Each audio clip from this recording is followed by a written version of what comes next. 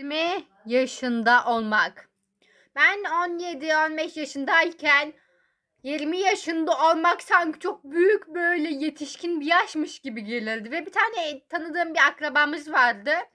Hani bana koş, koskoca gelin kız oldu 20 yaşında oldu diyordu ve ben sanki 20 yaş çok bana büyükmüş gibi falan gelirdi.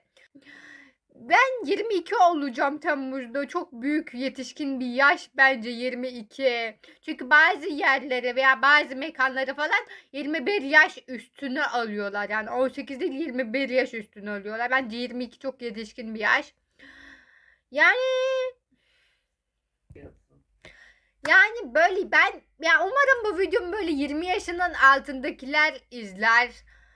Ee, veya 20 küsur yaşındakiler de izleyebilir. Ama şöyle söyleyeyim size. 20 yaşına geldiğinizde çok olgun olmuyorsunuz maalesef. Yani olgunlaşamıyorsunuz. Ergenlik. hala çocuk kalıyorsunuz ve hala içinizde yapamadığınız bir şeyler oluyor. Bir keşke şunu yapsaydım gençken 18 16 15 yaşındayken bunu yapsaydım falan diyorsunuz ve o, bu yüzden her anınızın tadını iyi bilin. Her anınızı doya doya yaşayın. Ve benim bunda en çok öğrendiğim şey 18 yaşına gelmeden önce yani 18 yaşındayken bir sevgili bulmam ve 2,5 yıl çıkmam oldu. Yani keşke bu hatayı yapmasaydım diye düşünüyorum. Şu an 22 olacağım. Temmuz'da ve çok az kaldı. Sadece 2 ayım kaldı. Neyse. Yani bu yüzden keşke sevgili yapmasaydım diyorum ve artık güvenimi bile kaybettim yani o derece. Ve keşke yapmasaydım da hayatımı doya doya yaşasaydım diyorum. Umarım siz kimseye bağımlı kalmadan, kimseye bağlı kalmadan hayatınızı 18, 19, 20 yaşından öncesine doya doya yaşamışsınızdır umarım.